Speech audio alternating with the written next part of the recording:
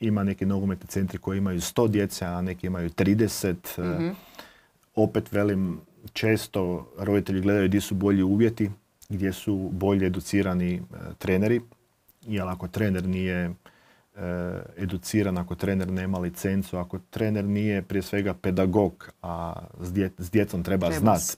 Jer ako dijete ne igra, ako dijete brzo će izgubiti volju. Jel? Mhm. Tako da moramo u tom dijelu već što se može napraviti da svako dijete može igrati. To je bio, zato je bio zamišljen nogometni centar. Nogometni centrima je preko tisuću djece koji neće svi uspjeti u nogometu, ali bitno je da su tu, bitno je da, se druže i da osjete nekakvu pripadnost nečemu i samopouzdanju. Tu e, se uči, tu se uče i prve suze i prva bol i mhm. radost i veselje i zima i snijeg. Djeca će malo čeličati i to sve skupa.